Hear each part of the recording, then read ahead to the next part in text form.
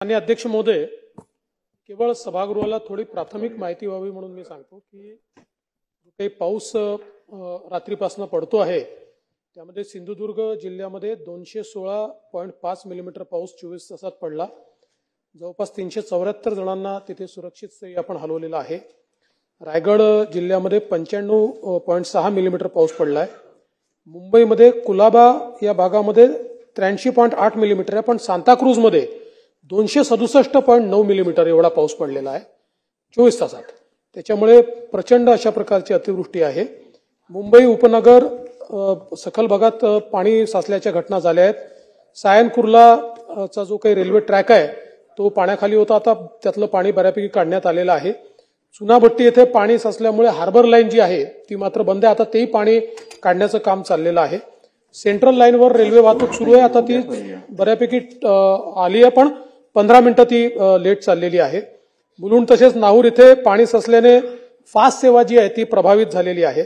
Mahalakshmi express Ambernath इथे थांबवण्यात आली होती. त्याच्यानंतर मला असं वाटतं ठाण्याला देखील काही रेल्वे थांबवण्यात आल्या होत्या.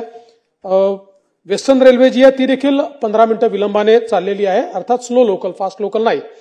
त्यानंतर साधारणपणे सकाळपर्यंत कुठे खूप मोठी हानी अशा प्रकारचे काही या ठिकाणी नोंद झालेली नाही. तथापि काही प्रमाणात किरकोळ प्रमाणात काही ठिकाणी हानी झाल्याचं आपल्या लक्षात येत आहे. आणि मुंबई मुंबई उपनगर पालघर रायगड रत्नागिरी सिंधुदुर्ग ठाणे या सगळ्या भागामध्ये पुन्हा पावसाचा इशारा देण्यात आला आहे काही भागामध्ये ऑरेंज अलर्ट आपल्याला देण्यात आलेला आहे. आणि जसं आपण सांगितलं की मुंबईमध्ये जेव्हा अतिवृष्टी आणि हायटाईड या दोन्ही एकत्रित येतात त्यावेळी शेवटी मुंबई हा आपल्याला माहिती आहे की बेटाचा भाग आहे. त्याच्यामुळे पाणी आपल्याला मुंबईचं समुद्रातच त्याचा निचरा आपण करतो. हायटाईड ज्यावेळेस येतो त्यावेळेस त्याचा निचरा होऊ शकत नाही. त्यामुळे मुंबईमध्ये पाणी साचण्याची घटना मोठ्या प्रमाणात होते.